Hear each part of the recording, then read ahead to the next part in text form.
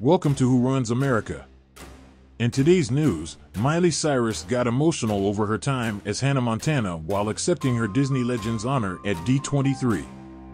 The singer and actress made history on Sunday at D23 2024, the ultimate Disney fan event in Anaheim, California.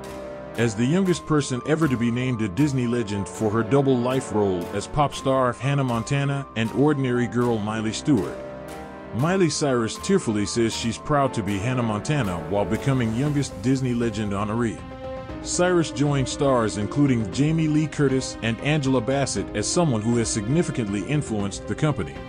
As Cyrus accepted the accolade, she teared up on stage reflecting on her Disney days.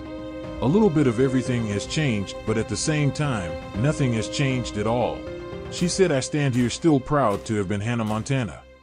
Cyrus, who starred in Hannah Montana alongside Billy Ray Cyrus, Emily Osment, Jason Earles, Mitchell Musso, and Moises Arias from 2006 to 2011 first took the audience through the behind the scenes process of how the wig wearing pop star came to be.